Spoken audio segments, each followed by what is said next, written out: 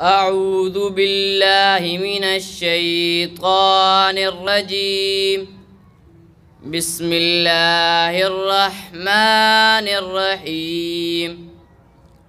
الله لا إله إلا هو الحج القيوم.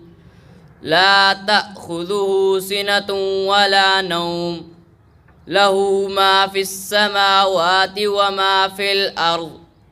من ذا الذي يشفع عنده إلا بإذنه يعلم ما بين أيديهم وما خلفهم ولا يحيطون بشيء من علمه إلا بما شاء وسع كرسيه السماوات والأرض ولا يؤوده حفظهما وهو العلي العظيم صدق اللہ العظیم۔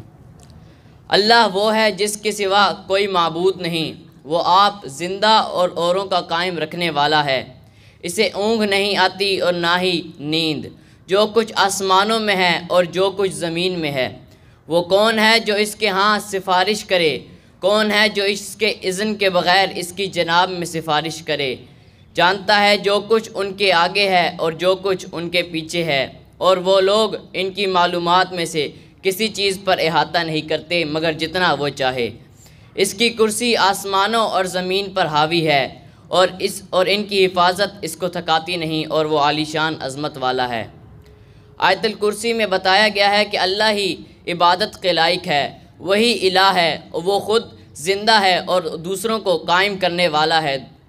اسے نہ اونگ آتی ہے اور نہ ہی اسے نیند آتی ہے۔ کوئی بھی اس کے ہاں سفارش نہیں کرتا اور اس کے اذن کے بغیر اس کی جناب میں کوئی سفارش نہیں کرتا۔ اس کی کرسی تمام آسمانوں اور زمینوں پر حاوی ہے اور وہ ان آسمانوں اور زمینوں کی حفاظت سے تھکا تھکتا نہیں ہے اور وہ عالیشان عظمت والا ہے۔ جزاک اللہ۔